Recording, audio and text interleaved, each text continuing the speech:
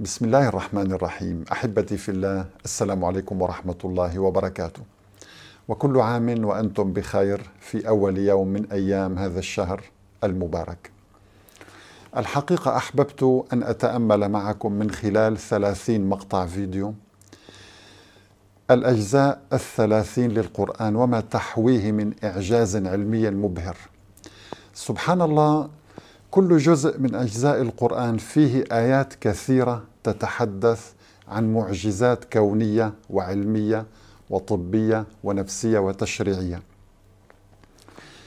اليوم الجزء الأول من القرآن الكريم فيه آيات عظيمة يعني هو يتضمن الفاتحة وقسم من سورة البقرة. فيه آية عظيمة الله تبارك وتعالى يقول فيها الذي جعل لكم الأرض فراشا والسماء بناء. سبحان الله.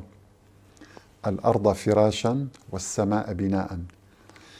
عندما نتأمل آيات السماء في القرآن الكريم لا نجد أن القرآن يستخدم كلمة فضاء ابدا لأن العلماء قديما كانوا يظنون أن الكون عبارة عن فضاء ولكن تبين حديثا أن كل يعني جزء صغير بحجم الذرة من أجزاء هذا الكون مشغول إما بالمادة أو الطاقة.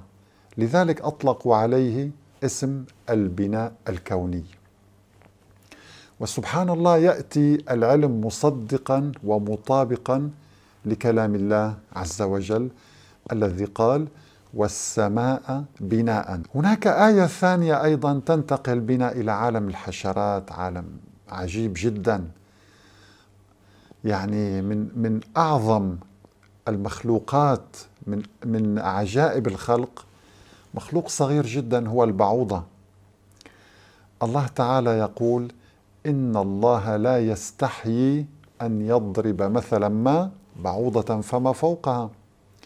اكتشف العلم أن هناك كائنات أصغر من البعوضة تعيش فوقها سبحان الله. واكتشف العلم أيضا أن هذه البعوضة لها تقنيات معقدة جدا في الطيران تتفوق على أي جهاز اخترعه البشر.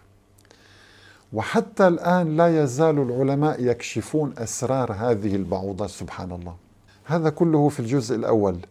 هناك طبعا آيات كثيرة يعني مثلا الله تعالى يقول واستعينوا بالصبر والصلاة وإنها لكبيرة إلا على الخاشعين. سبحان الله هذه وصفة علاجية لأمراض العصر الصبر والصلاة. نسأل الله تبارك وتعالى أن ينفعنا وإياكم بهذا العلم وإلى لقاء آخر إن شاء الله نتأمل بعض من آيات الإعجاز العلمي في الجزء, الجزء الثاني من القرآن. والسلام عليكم ورحمة الله وبركاته.